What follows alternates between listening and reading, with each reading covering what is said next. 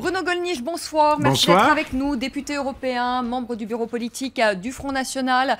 Euh, on peut le dire, Bruno Gollnisch, ce soir, euh, vous considérez aussi que c'est un échec pour le Front National. On rappelle quand même à tous les spectateurs, Marine Le Pen, 24 députés, il en faut 25 pour former un groupe, mais il fallait cette nationalité, elle ne les a pas On peut trouver le verre à moitié vide ou, à moitié plein, puisque nous avons 5 nationalités et 40, nous sommes passés de 24 à 40 si on compte nos alliés.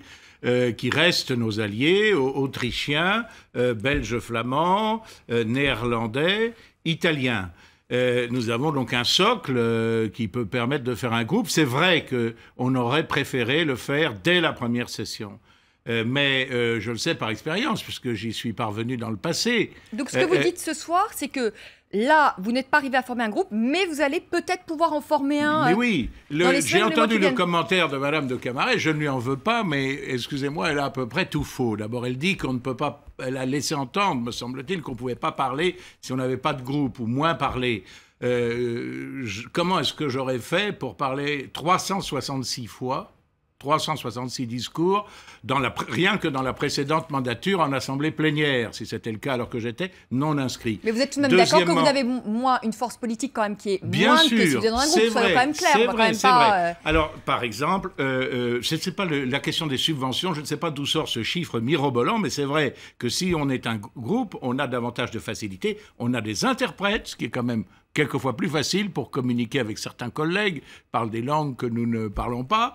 Euh, on a des assistants en nombre parle de 20 à 30 millions d'euros pour tous les 5 ans. Oui, mais d'où sort ce chiffre bah, Quelle est la... bah, C'est des chiffres qui sont donnés par le Parlement européen. Non, mais tout ça... C'est des chiffres qu'on a vérifiés qui sont donnés par le Parlement européen. Non, mais excusez-moi, nous, nous sommes, si nous avons un groupe, nous serons placés exactement sur le même pied que tous les autres groupes du Parlement. Oui, mais vous n'avez pas de groupe pour l'instant. Que ça sera au prorata, mais ce n'est pas, pas un jackpot ce sont des moyens supplémentaires. Mais que vous n'avez pas, Bruno Gollnisch. Mais ce sont des moyens supplémentaires que nous n'avons pas pour le moment, que nous sommes susceptibles d'acquérir en cours de mandature. Nous préférons partir avec cinq composantes qui sont sûres, qui sont sérieuses, d'autres euh, euh, d'autres euh, partis qui apparaissent pour la première fois dans l'Europe auraient souhaité s'agréger à nous nous devons vérifier précisément s'il y a véritablement une compatibilité de discours, de projet dans la communication. Alors, Marine, le Pen par exemple... Marine Le Pen, justement, on va s'arrêter là-dessus si vous voulez bien, euh, parce que Marine Le Pen dit justement qu'il n'y a pas de compatibilité de discours, par exemple avec Aube qu'elle considère comme un parti néo-nazi, et qu'il n'y a pas également de compatibilité de discours avec Jobbik, le parti euh, hongrois. Est-ce que vous dites c'est une erreur Non, mais attendez, ma question. Est-ce que vous dites c'est une erreur de la part de Marine Le Pen de ne pas avoir traité avec Obdoré ou avec Jobbik? Euh, je ne connais pas Obdoré. Jobbik, vous connaissez bien. Je, Jobbik, je connais. Je considère, moi, euh, les gens que avec lesquels j'ai travaillé à, à, Jobbik comme parfaitement respectables. mais il est vrai qu'il y a quelquefois des incompatibilités.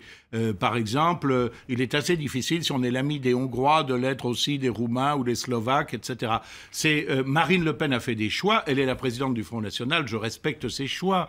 il se peut très bien que dans les semaines qui viennent ou les mois qui viennent, nous ayons d'autres nationalités qui veuillent, souhaitent nous rejoindre. Parce nous n'avons pas, elle nous n'avons pas, que c'est un parti extrémiste. Pas, nous, écoutez, vous interrogerez. Je, pense que si vous voulez interviewer mes collègues de Jobbik, ils vous diront ce qu'il en est. Je ne suis pas chargé ici non, mais de Marine répondre... Le Pen, mais Marine Le Pen dit Jobbik est un parti extrémiste, c'est pour ça que je, ne veux pas m'allier avec elle. Je ne crois pas qu'il faille porter de jugement sur tel ou tel parti sur le plan interne. Pour moi, ce qui m'intéresse, c'est quelles sont leurs positions sur le plan européen. Ça, c'est un, c'est un, euh, c'est tout à fait euh, essentiel selon moi. Mais c'est vrai qu'il y a des difficultés en termes de communication, euh, en termes médiatiques. C'est vrai que la diabolisation qui régresse pour toutes les formations patriotiques qui ont toutes été soumises aux mêmes euh, euh, calomnies que nous, ça régresse sur le plan interne, ça fonctionne encore assez bien sur le plan international. Mais ce qui est intéressant, Bruno euh, Gollnisch il y a un réflexe en quelque sorte pour se dédouaner de dire ah ben non euh, peut-être pas avec celui-ci pas avec celui-là.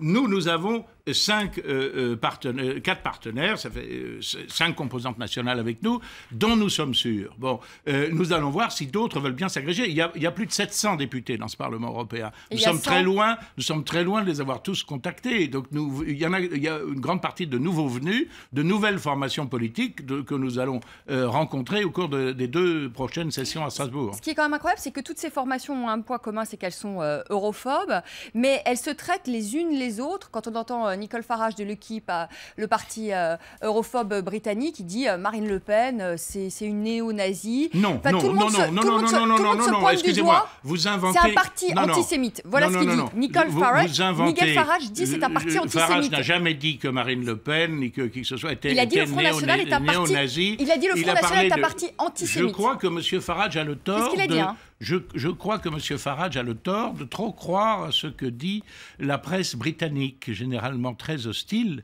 évidemment, et qui cherche naturellement à nous diviser. Mais M. Farage euh, se rendra compte, je pense assez rapidement, que euh, cela ne lui sert pas sur le plan interne, et que ça n'est pas conforme d'ailleurs aux souhaits d'une grande partie de ses, de ses députés.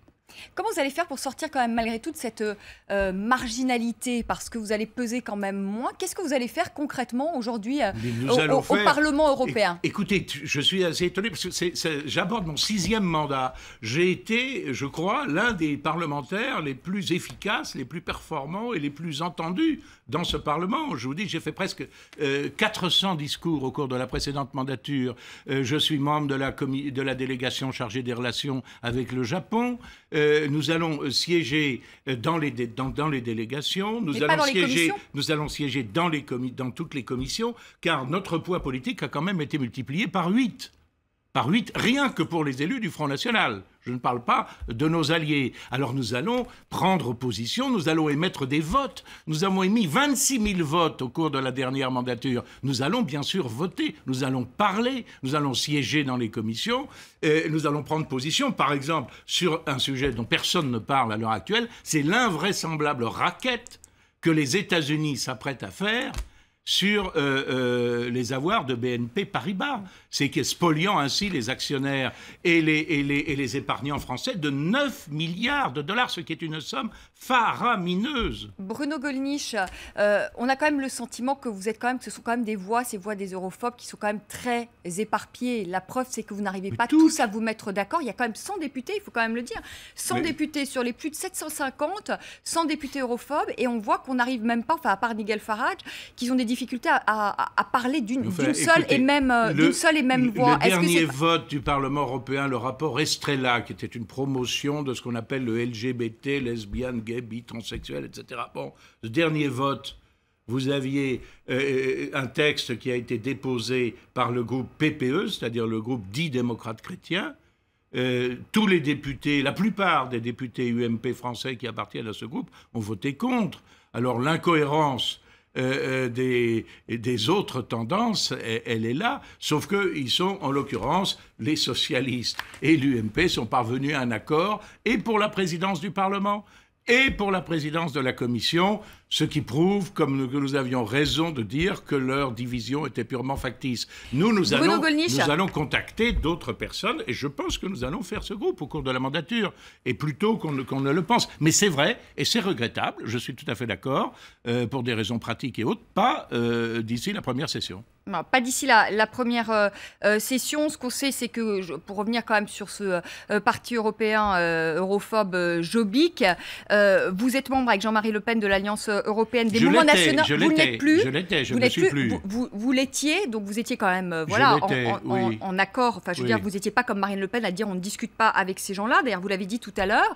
Est-ce qu'il n'y a pas aujourd'hui une fracture quand même très nette au Front National entre Jean-Marie Le Pen et ses partisans, j'ai envie de dire la vieille garde dont vous faites partie. Ah, vous êtes très aimable euh, pour, non, mais quand je mon âge. Mais je vous signale. Non, mais, les, historiques, les historiques du Front National et euh, Marine Le Pen. Est-ce qu'aujourd'hui, il n'y a pas une fracture avec Marine Le Pen qui veut rendre acceptable ce Front euh, National et un décalage avec Jean-Marie Le Pen et, ses partisans et ceux qui l'entourent Est-ce que cette fracture, elle n'existe pas aujourd'hui En, hein? matière de fracture, parce que vous opposez d'un côté Marine Le Pen et, dites-vous ses partisans, je crois que j'en suis aussi, à, à Jean-Marie Le Pen et à moi-même. Et je vous signale que Jean-Marie Le Pen, dans la campagne interne pour sa succession, a pris position en faveur de Marine Le Pen, pas en faveur de moi-même, ce qui était d'ailleurs parfaitement son droit.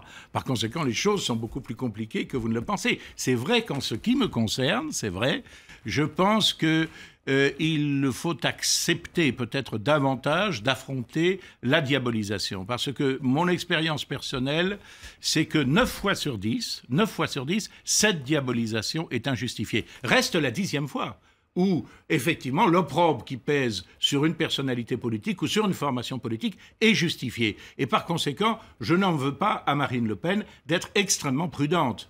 Euh, d'être extrêmement prudente et de dire, bah, écoutez, maintenant nous nous connaissons, c'est vrai que nous nous connaissons depuis longtemps, depuis plusieurs années, les Autrichiens, on a dit la même chose euh, sur eux. On a dit la même chose sur les Autrichiens. C'est tout tout à fait faux. Exactement ce qu'on a dit sur nous, d'ailleurs, quoi plus personne ne croit. Par conséquent, je, pense que nous avons cinq nationalités. Elles sont sûres, elles sont certaines, elles sont tout à fait honorables. Nous allons voir ce que disent et ce que font les autres. Et puis nous déciderons le moment venu. Et je pense relativement tôt.